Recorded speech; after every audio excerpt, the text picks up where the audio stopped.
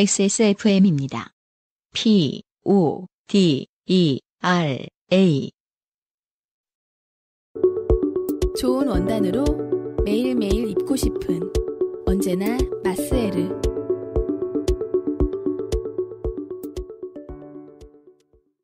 본격적으로 오늘의 좋게 됨이 묻어나는 편지를 소개를 해드리겠습니다. 네. 긴 두 가지의 사연이 있고요. 제가 신기해하는 외국 사연이 또더 하나 들어와 있습니다. 네. 그렇다고 제가 이렇게 외국 사연을 많이 소개해드리는 건 아니에요. 음. 네.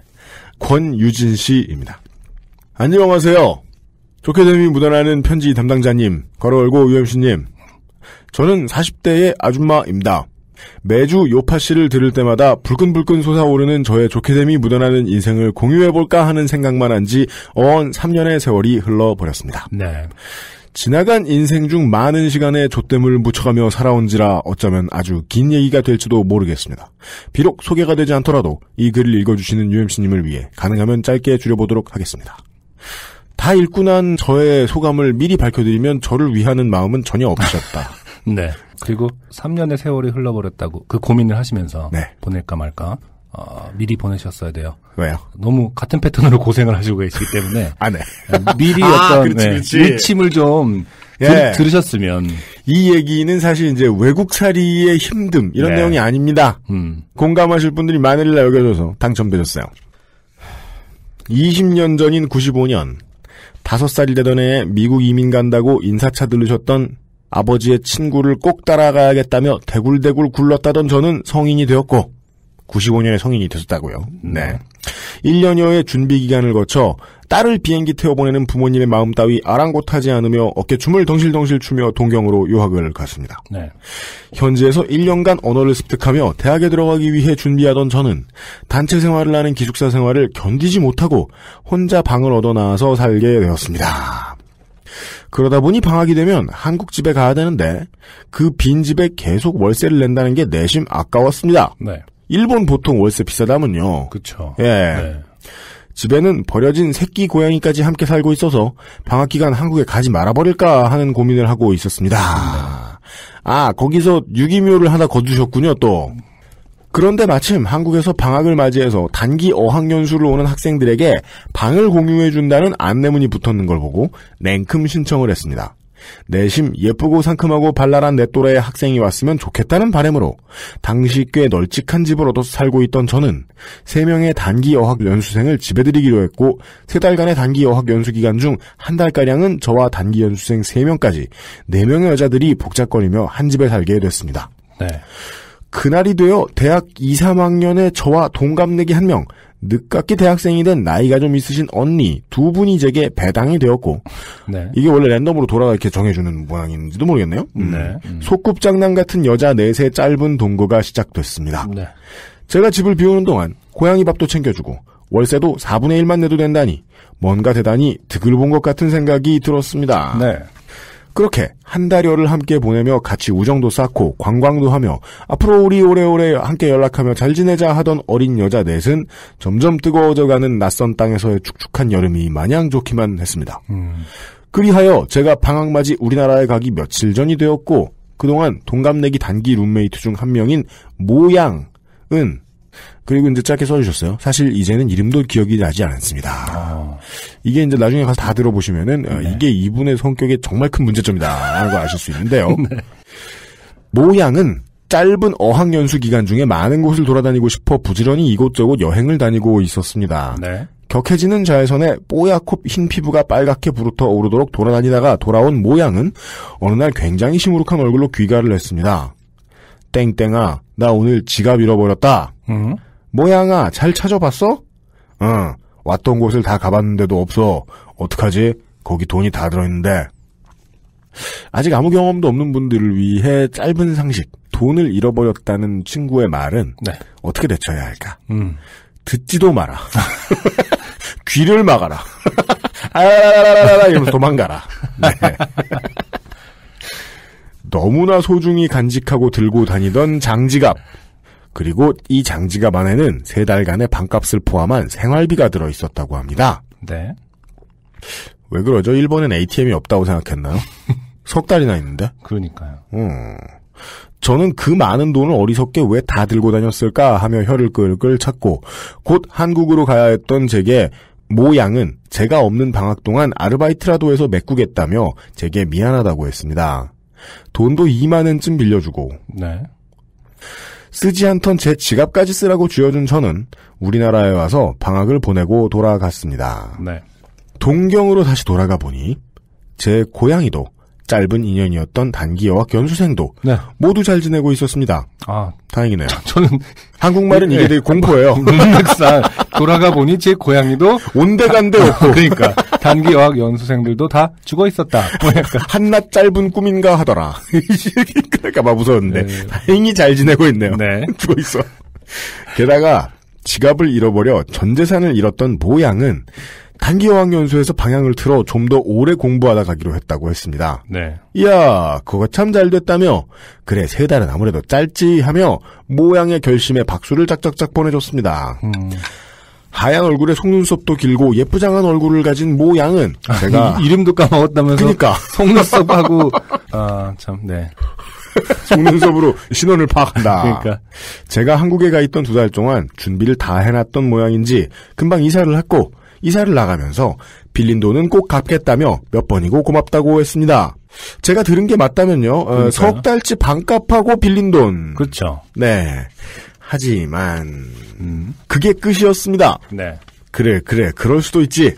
어떤 이건- 어떤 부분이 그럴 수도 있는 거죠? 이건 때려 죽여도 제가 하는 말이 아니죠, 청취자 여러분. 그래, 그러면 죽어야지. 이게 제 의견이죠. 네. 그래, 그래, 그럴 수도 있지. 그래도 내 고양이를 두 달이나 돌봐줬잖아. 그럼 된 거지 뭐. 음, 제가 볼 때는 반값은 받았으니까 이런 말씀을 하시는 거겠죠? 그 30만 원 정도를 이제 그 고양이를 돌봐준 걸로 하는 걸까? 다시 한번 답을 들어야겠습니다. 네. 저는 만약에 이제 누군가한테 제 집을 이렇게 맡겨놓고 갔는데, 돈을 빌려주고, 음. 네, 갔다 왔는데, 초코와 그 사람이 무수하게 있고, 돈을 안 갚는다. 음. 그러면 초코를 유괴한 걸로 고소해 버릴 거예요. 갑자기. 그것까지 다 뜯어내겠어. 네. 네. 뭐 고양이를 돌봐준 게 뭘? 몇 달의 시간이 흐른 후에 길에서 친구들과 우르르 지나가던 모 양을 우연히 마주치게 되어 인사를 나누면서도 저는 내 돈 내놔 하는 말을 차마 하지 못했습니다. 네. 우연히 만났을 때 돈 내놓으라고 하기 쉽지 않죠. 그렇죠. 특히나 사회 경험을 해서 이제 돈을 떼먹어보고 떼먹혀보고 이런 사람이나 길에서 마주치면 100m 바깥에서 마주치면 뛰어가가지고 네. 야이 새끼 이러지 되셨을 법한 타이밍이 아니었던 것 같아. 음. 그때 모 양의 손에 들려있던 장지갑이 음. 잃어버렸다고 했던 그 장지갑과 너무나 비슷하게 생겼다. 음. 라는 생각만 언뜻 했던 것 같습니다. 네. 그때 손을 손모가지를 딱 잡고 이 못이요 이러면서 기무라 안 봐. 뺏어내야지. 아, 장지갑 같은 거였을 것 같아요. 제가 예. 볼 때는 그 그- 탭아웃을 막 네, 하면은 네. 갚을 거야? 다시 물어봐야죠. 예. 어허. 지갑을 잃어버렸던 게 아니라 그 돈을 갖고 빠찡코에 가지 않았을까? 아 진짜요? 강원랜드 같은데? 아니요, 음. 일본은 워낙 생활 속에 다 있으니까요. 아 그래요? 네. 아 동네 사람들이 그런 걸 네, 많이 하, 하고요. 진짜요? 네. 근데도 나라 경제가 유지된단 말이에요? 음, 음, 되게 그, 뭐랄까, 상대적이겠습니다만은, 네. 그 여가 활동이나 취미 활동 정도로 여기더라고요. 아 진짜요? 네. 주부들도 장 보고 와서 빠찡코에 가서 재미삼아 하고 뭐 이런 네. 것들. 네. 아 진짜요? 네. 그리고 워낙 그 기계가 되게 재밌게 아, 다? 다양하게 개발이 돼 있더라고요. 아, 그 정선에 가면 음, 음. 어, 목동 야구장만한 주차장이 있어요. 네. 그 주차장이 꽉 차 있어요. 음, 음. 그 차들은 계속 가만히 있어요. 놀러 오신 분이 아, 차를 놓고 가세요. 네. 깜빡하고. 그런 데라니까. 저당이 잡혀 있는 거겠죠. 예, 무서워요. 근데 강원랜드 이런 데는 쉽게 말해서 그 슬롯 머신인 건가요? 음, 뭐, 전 몰라요. 그니까, 저는 박한양반하고 강원랜드에 가서, 음. 도박 빼고 다른 걸 다 하고 왔거든요. 네. 도박 빼고 너무 좋거든요, 동네가. 음. 뭐 영화도 공짜로 틀어줘, 먹을 것도 많어, 골프장도 있고, 골프는 안 쳤지만 하여간. 네. 예. 날씨가 워낙 좋으니까. 그래서 간 건데, 다른 사람들은 다 시름에 찬 얼굴로 차를 내려놓고. 음. 아, 물론 그 친구분이 모양이 그러셨을 거라는 건 아닙니다만, 네. 하여간 저희 예측으로는 아. 그 지갑은 그 지갑이 맞다. 네, 잃어버린 것은 아닐 것이다. 네. 너무 비슷하다고 생각했으면 약간 수선했을 것이다. 첫 단추가 비뚤어져서였을까요? 그 후로 몇 번 더 룸메이트를 맞이할 때마다 어째서인지 저는 늘 룸메이트의 생활비에 월세까지 제가 부담하게 되었고 네. 뭐예요? 사실은 누군가가 네. 이제 크게 싸움을 해서 음, 음. 복수한다고 이분의 등 뒤에 이렇게 글씨 써놓고 그 붙여놓고 도망간 거 아니에요? 나에게 돈을 꾸시오. 마르지 않음. 마르지 화수분. 네. 아니 그런 게 아닌 이상은 네. 오호. 마지막으로 소개받아서 함께 살았던 룸메이트는 제가 없을 때 제 물건들까지 일부 챙겨서 이사를 가버리는 일도 있었습니다. 음. 이쯤 되면 제 상식으로는 하나도 안 다가와요. 음. 하나도 안 다가와요. 음. 오호. 근데 그 룸메이트라는 게 사실은 뭐 그렇잖아요. 형제라든지 친한 친구끼리도 엄청 싸우고 네. 갈등이 생기는데 정말 생면부지의 사람과 같이 산다는 게 네. 언제나 갈등의 어떤 요소들이 있잖아요. 음. 그러니까 이거는 그냥 룸메이트라는 단어가 아니라 그냥 사회라는 단어로 치환해도 같은 아. 보시면 될 거라고 저는 아. 생각하거든요. 네. 오, 그러면 제 이해가 맞다면 그건 기업이란 말로 치환해도 같아요. 음, 음. 예. 자, 주제- 자 본주의로 치환해도 같은 거 아니야? 그렇습니다. 이 나쁜 놈들. 그냥 내버려두면 무조건 방종한다니까. 이건 그냥 쉽게 얘기해서 대인관계라든지 네. 사회생활의 전형적인 어떤 부분을 음. 늘 사람들에게 그 부분을 이용당하는 거죠. 말을 못하는 성격이라든지 이런 거에 대해서. 아하. 라고 저는 생각합니다. 더 봅시다. 네. 그렇게 저는 1년간의 짧은 어학원 생활을 마친 후에 잠을 잘 수 없을 만큼의 과제가 있는 과에 입학을 해서 정신없는 하루를 보내고 있던 중에 한국에 있던 친구의 소개로 통역 아르바이트를 하는 것을 하게 되었습니다. 네. 땡땡아 부탁 좀 할게. 겨우 하루인데 뭐. 그래도 친구야 이건 너무 급하다. 나 학교도 가야 되는데. 땡땡아 아르바이트비를 좀 넉넉하게 부를게. 우리 교수님 아는 분인데 그냥 미술 재료 파는 곳 좀 돌고 그쪽 업자 만나서 이야기하는 거 잠시 통역만 하면 되는 건데. 네. 저 이제 놀라지도 않죠 미대생. 아니, 이거는 미대생이 아니라 그래요? 교수님 아는 분이 이제 미술 재료 파는 곳을 가고 싶다는 거니까. 아 그래요? 어쨌든- 미술하는 분이니까 미술 재료를 사시겠죠. 어... 심지어 이제 미대생이 아니라 미대 교수님까지도 등장을 하는 거죠. 저 같은 사람만 하더라도 무슨 알바 준다면서 학교 하루 쉬라 그러면 그냥 인자하게 대답했을 거예요. 음, 음. 너가 아니었어도 하루 쉰다. 내일 어차피 원래 오프다. 음. 이러면서. 근데 대부분의 학생들은 출석을 열심히 하잖아요. 네. 이걸 포기한다? 음. 넉넉한 알바비. 네. 정말 넉넉한 알바비에 혹한 저는 학교를 하루 쉬기로 했습니다. 네. 그까지 통역 따위 못할 게 뭐가 있겠나. 이쪽하고 저쪽하고 알아듣게만 해주면 되는 거 아니겠어? 네. 이렇게 저의 전공과는 상관없는 넉넉한 알바비의 아르바이트가 시작됐습니다.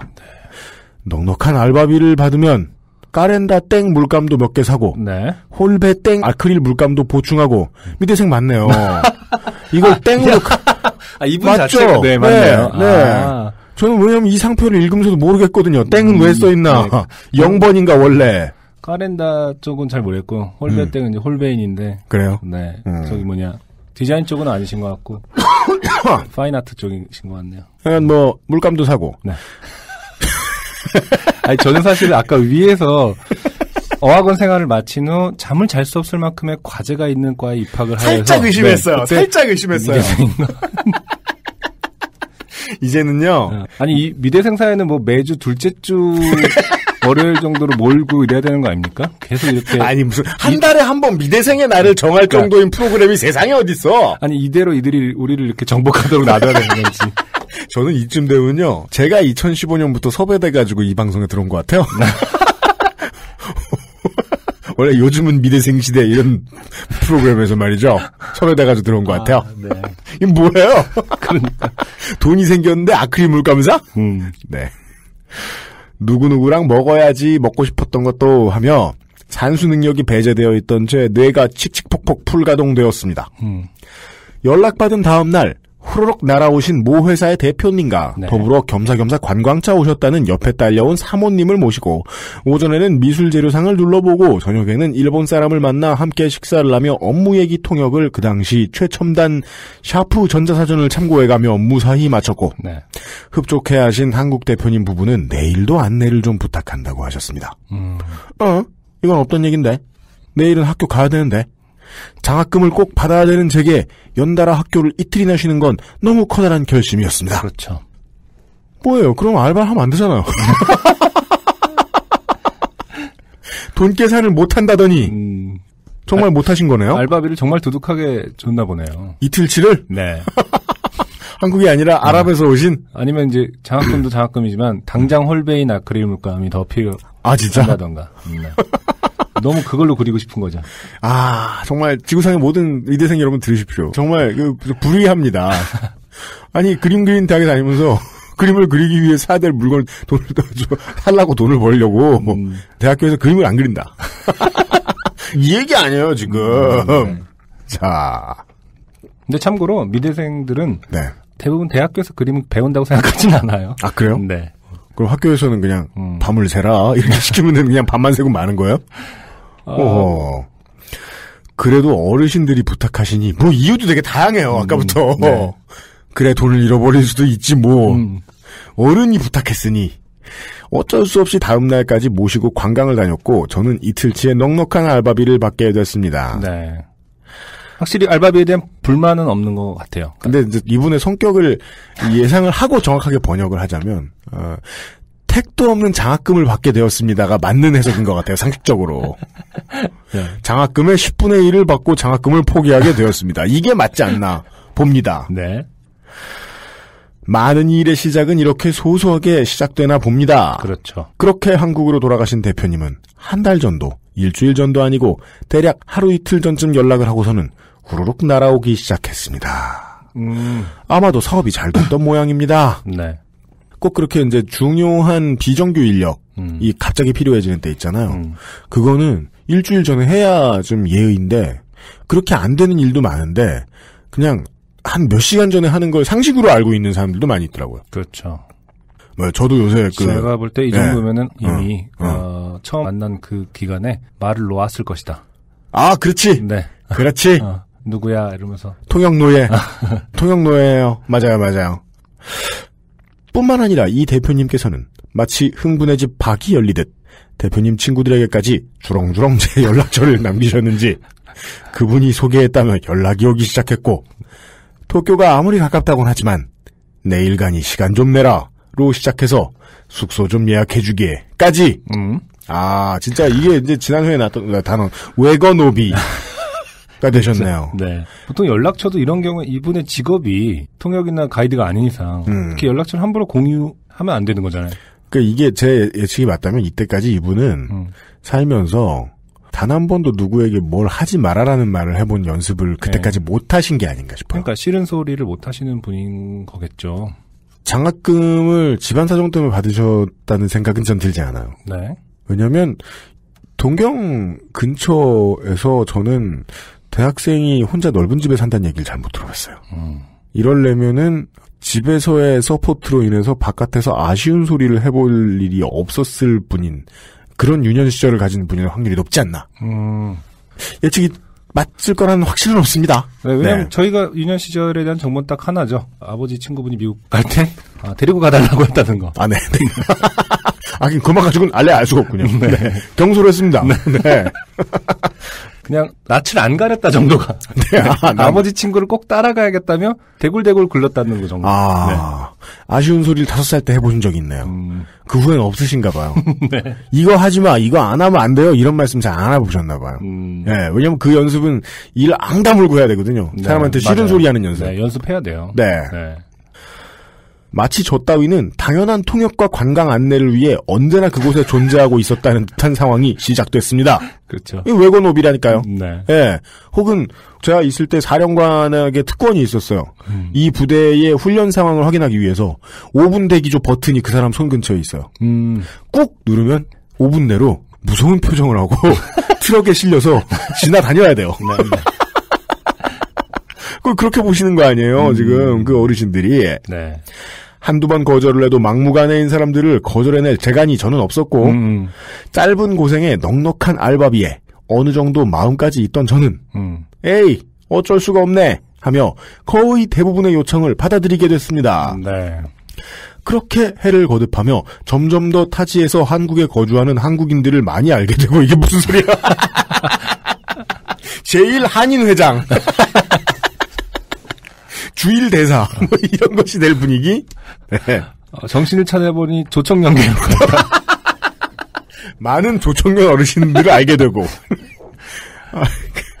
90년대 중후반부터 점점 한국에서 동경으로 놀러 오는 사람들도 많아지게 됐습니다. 그렇죠. 네. 그때 이제 문화 개방이 됐었잖아요. 수입과 이런 게 국제, 자유로워지면서. 국제 정세에 영향을 받을 정도로 네. 거물이 되셨어요. 국제 정세에 민감해. 예. 통역 노비기에 아, 네. one top 뭐 이렇게 되셨나봐요.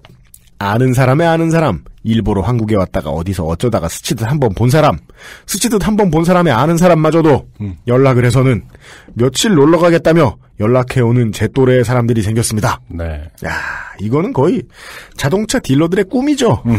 네. 아, 이 정도 민박집을 해야죠. 네. 네. 혹은 보험 설계사들의 꿈이다. 그러니까요. 이렇게 눈빛만 봐도 연락하고 싶은 사람. 그러니까 이, 이분은 지금 당장 미소를 때려치고 그죠? 예. 묘한 매력이 있는 걸 수도 있는 거죠. 그러니까 네. 그 이쪽 계통으로. 맞습니다. 네.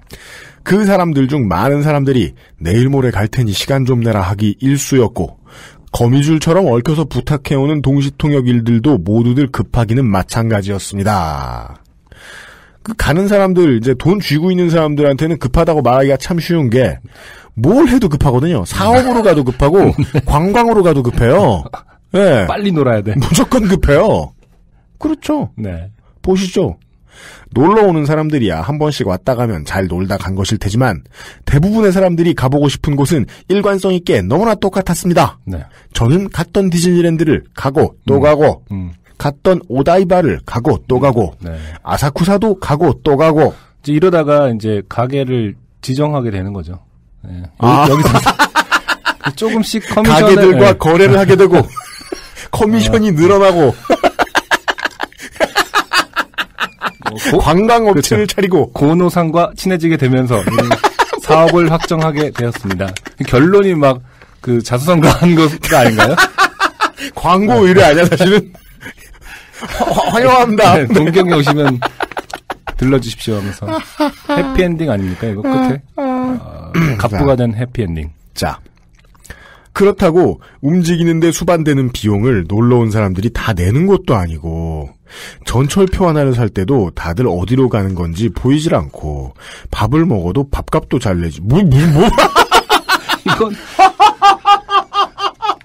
그 사연이 있었잖아요. 중국에서 진주 크림 사고 그 아, 네 지지난주였죠. 지난주인가요? 네, 네. 네.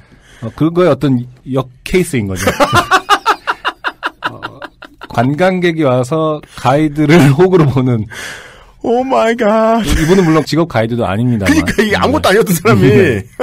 가이드가 되어서 어떤 예, 관광객에게 돈을 뜯기고 있는. 관광객이 자기 하고 싶은 대로 다 하는 케이스인 거죠. 아, 저 아무 생각 없이 이 사연 골랐는데. 아까 케이스. 제가 확신이 없어가지고 안승준 군한테 여쭤보기까지 했단 말입니다. 네. 이 사연 나가도 되겠냐고. 너무 평범한 것 같은데. 아니었네요. 인생이 담겨 있어요. 야, 아, 이 어마어마하게 유니크한데요? 음. 왜 모든 사람들은 관광을 할 때 항상 무례해지는 걸까? 어, 어떨 경우는 또 모든 네. 사람들이라고 하면 안 되겠네요. 그러니까 가이드도 그렇고 관광객도 그렇고 이렇게 음. 다 무례한 경우가 일상생활보다 훨씬 많이 생기는 것 같아요. 그래서 그런 거를 이제 아이들에게 가르친단 말입니다. 또 볼 사이가 아닌 사람에게 아. 무례한 사람이 되면 안 된다. 네, 그런 사람이 되긴 너무 쉽잖아요. 그렇죠. 예.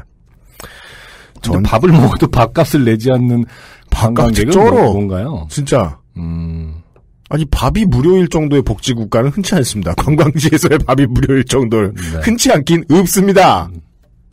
카운티 제일이면 모를까. 그래도 비행기 타고 온 손님이니 신경 써서 맛있는 건 뭔 소리예요? 맛- 본인이 아시아나입니까? 금호, 금호 그룹이세요?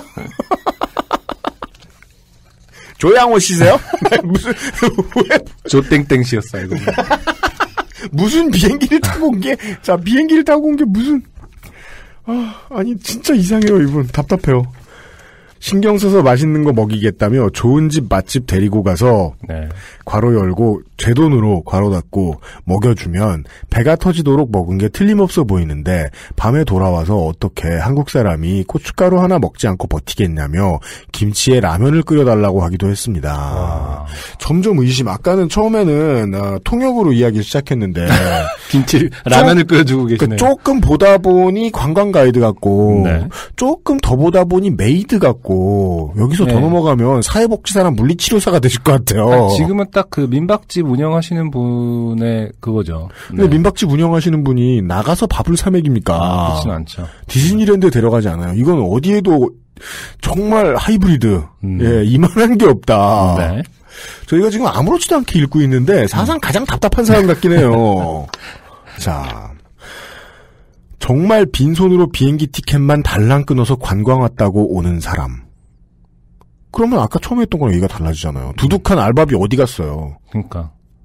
아니 이미 시작은 온데간데 없는 거죠. 소개, 소개, 소개, 소개를 거쳐서 예. 아, 아, 그럼 처음에는 네. 어, 이런 통역하는 사람이 있대. 얼마를 네, 주면 이런 걸 해줄 거야. 이제 수- 건너 건너 건너 건너서 네. 라면도 끓여준디야. 한 푼도 안 받는데. 그, 그 정도 되면 따지고 보면 정말 생면부지의 사람인 건데 누구의 지인도 아닌겠죠. 누구의 지인의 지인의 지인의 지인의 누구겠죠. 그럼 이제 누군가가 한명 이렇게 말이 퍼지다 얼버무린 거죠. 네, 그냥 타인인데 수녀 돈을 안 내고 밥을 먹고 있어. 수녀인가 보던데? 이러면 이제 그 다음번에 수녀래. 좋으신 분이셔. 그래서 맛집도 소개해준대. 사준대. 동경 이모.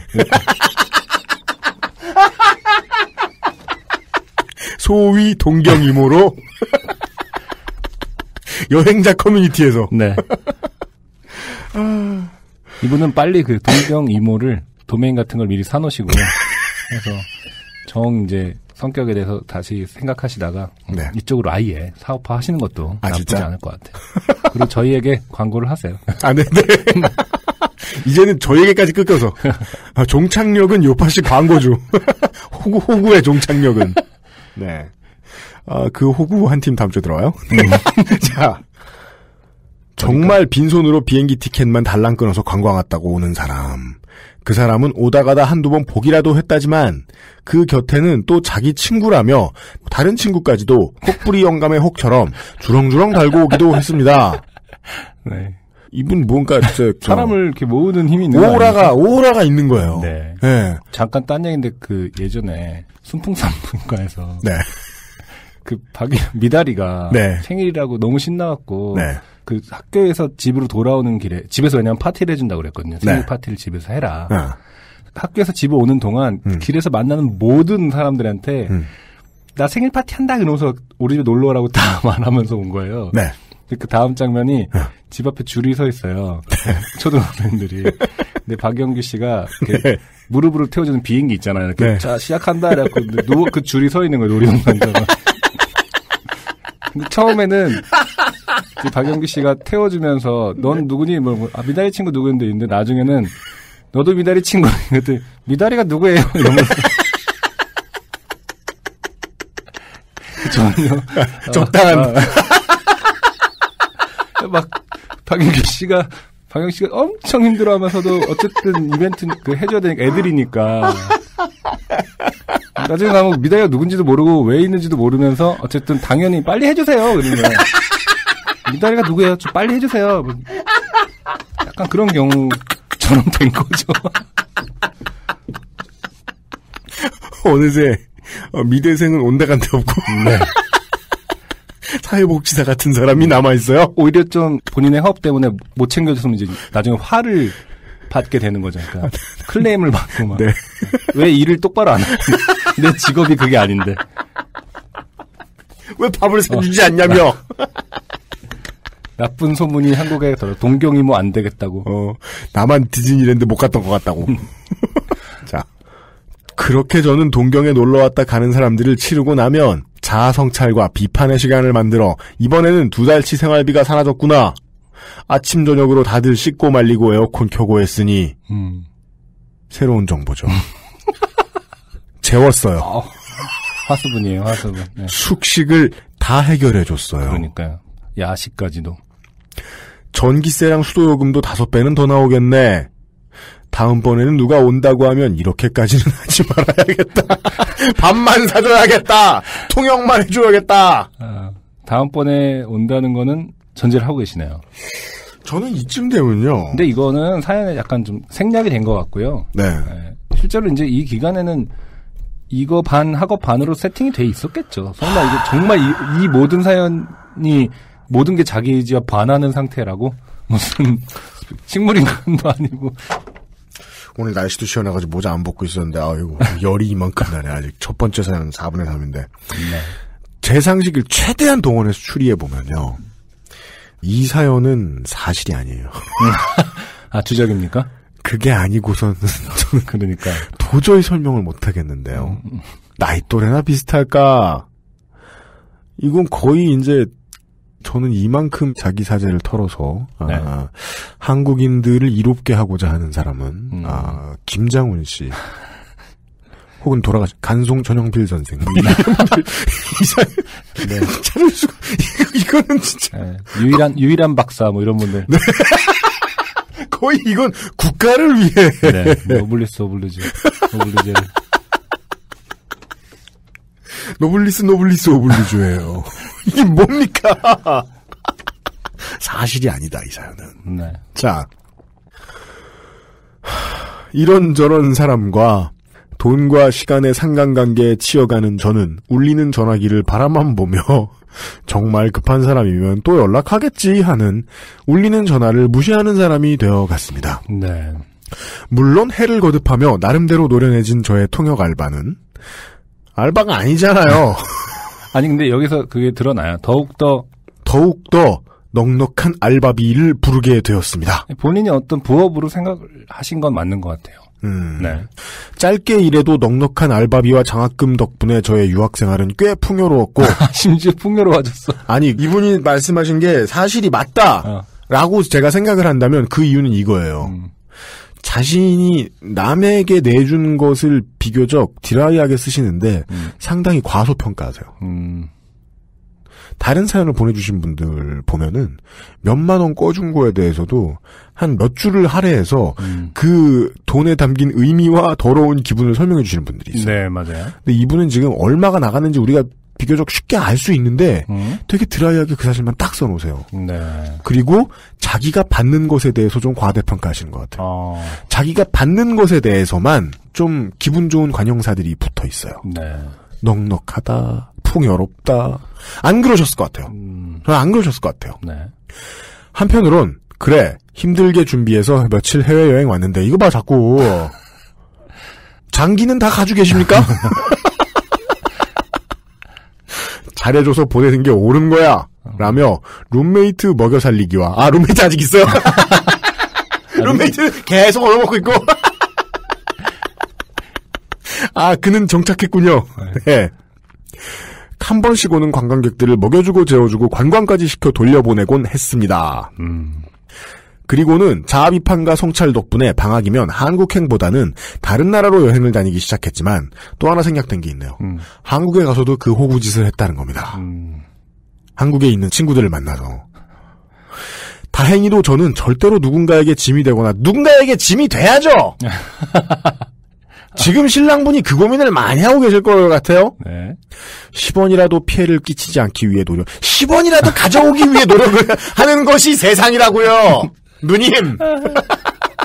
저랑 나이 차이도 얼마 안 나시는데.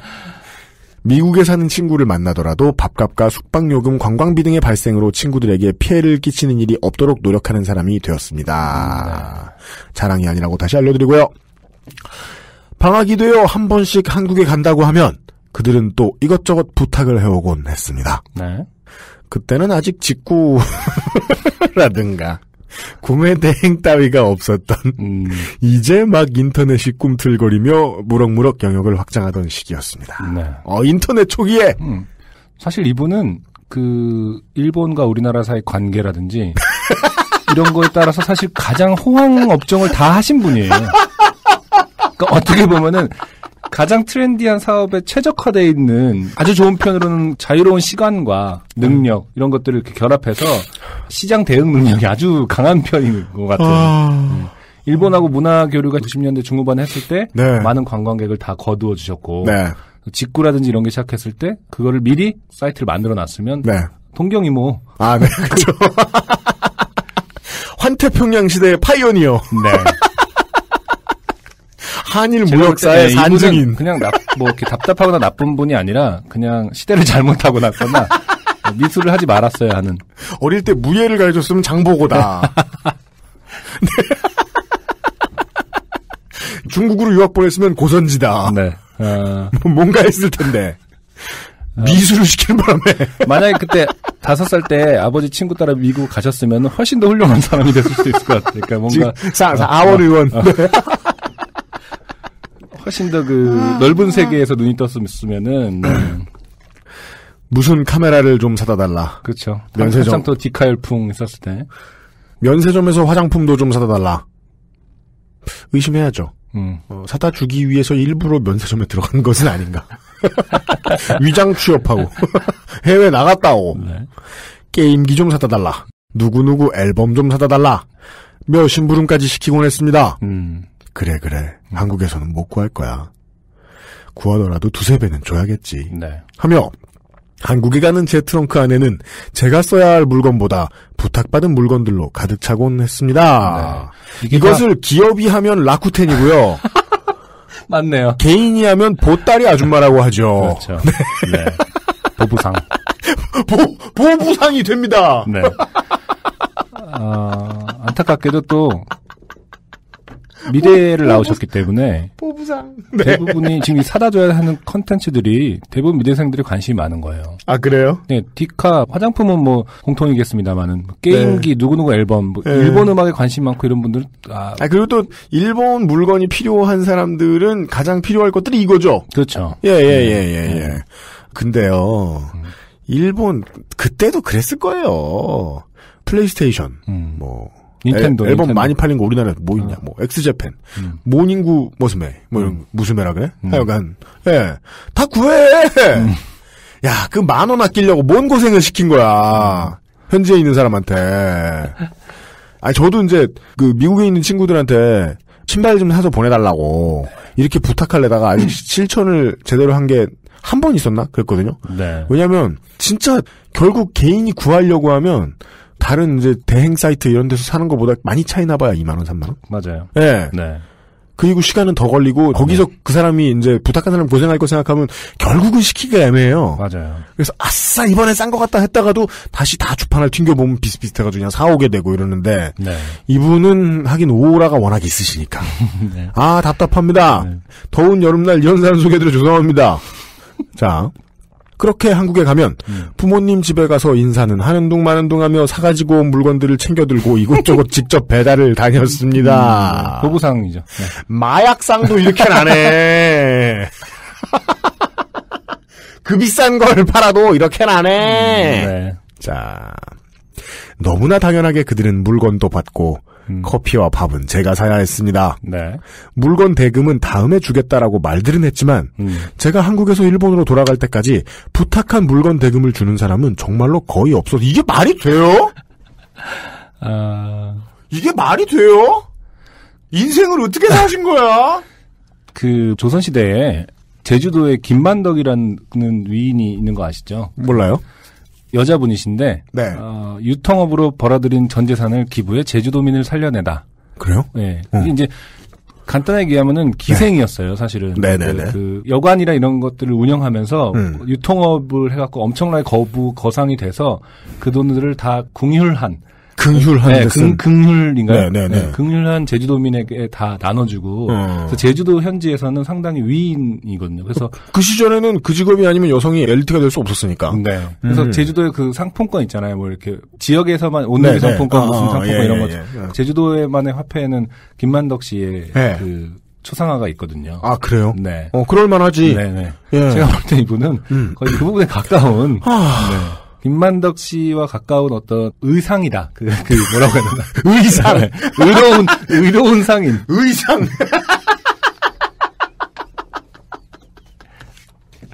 근데 명예 대사 역할도 하고 있으니까 음, 네. 의상 대사다. 자, 아, 자. 너무 흥분하니까 자꾸 어디를 읽는지. 그러니까 저는 지금 어 지금 이성을 논지 좀 됐어요. 화가 나 있어요.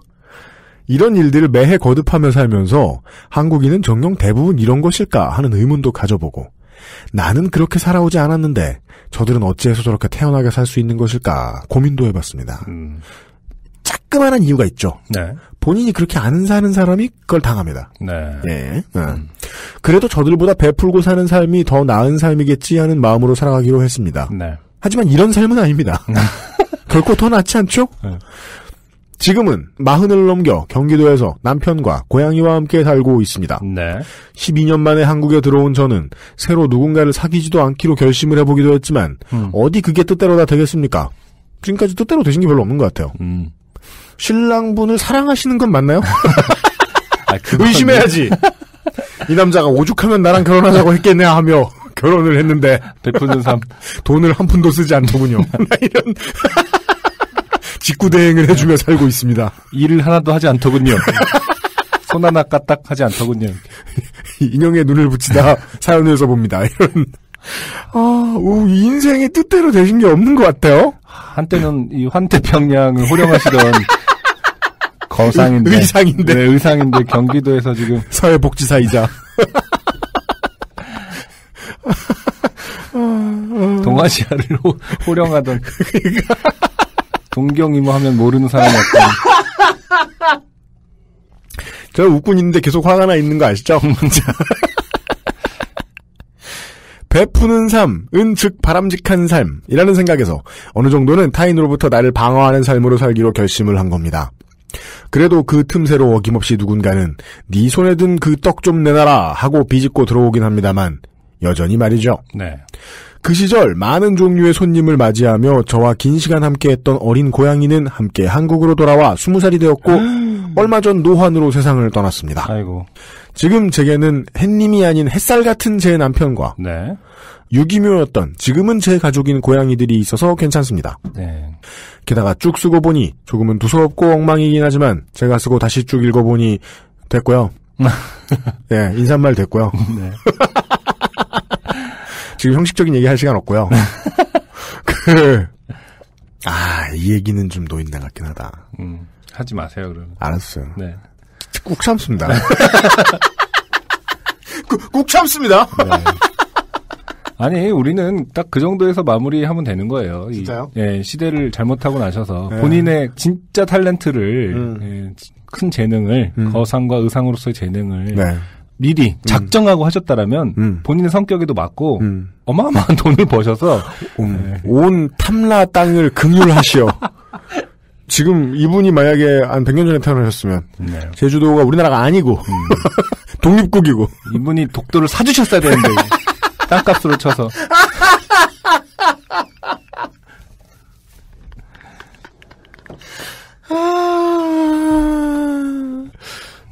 왜 제가 네. 이 사연에 답답해졌는지 알았어요. 음, 제가 사장놀이를 하고 살기 때문이죠. 요새. 음, 팔자에 없는. 네. 먹고 살자고 엄청 생각을 가박하게 해야 돼요. 네. 막 여기저기 등한 털리려고 생각 많이 해야 되고 네. 어디 가서 인상 쓰는 법도 배워야 되고 그럴 때마다 맨날 술 먹으면 이제 친구들한테 얘기하고 막 그래요. 네. 아, 이 직업 너무 싫다고. 음, 다 좋은데 사장인 게 너무 싫다고. 아. 예.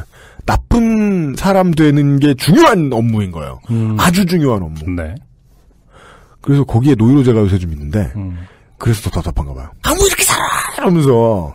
그거는 이제 나중에 사연으로 보내시고요. 그러니까 내가 남인 척 읽어주겠어. 이름을 김선희쯤으로 하여. 네. 아, 하여간 권유진 씨 네. 감사드리면서 음. 아, 오늘 밤에 이제 이 방송을 들으시면 두 가지 정도를 신랑분께 한번 확인을 해보시기 바랍니다. 네. 너 날 사랑하냐? 이것과 음. 그 다음에 나 때문에 답답한 적이 뭐가 있었냐? 아. 다 털어놔라. 고쳐주겠다. 만약에 이제 신랑분이 털어놓으시잖아요? 고칠 수 없는 것이 대부분일 겁니다. 아, 연락처를 알려주시고요. 네.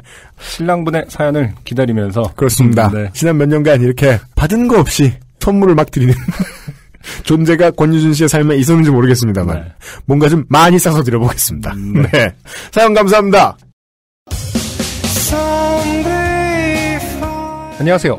요즘은 팟캐스트 시대를 진행하는 싱어송라이터 안승준 군입니다. 방송 어떻게 들으셨습니까? 지금 들으신 방송은 국내 최고의 코미디 팟캐스트 요즘은 팟캐스트 시대의 베스트 사연 편집본입니다. 요즘은 팟캐스트 시대는 여러분의 재미있는 사연뿐만 아니라 훌륭한 아티스트의 좋은 노래도 편집 없이 모두 틀어드리는 대한민국 유일의 팟캐스트입니다. 마음에 드셨다면 각종 팟캐스트 프로그램 포털 검색에서 요즘은 팟캐스트 시대 혹은 XSFM을 검색해 주세요. XSFM입니다. P, O, D, E, R, A.